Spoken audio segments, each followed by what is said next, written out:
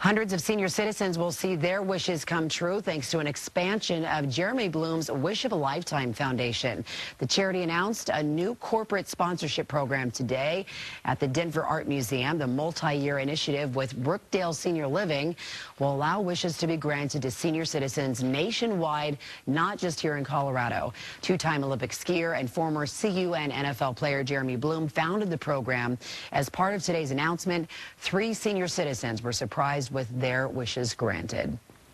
Apple's iPad 2 goes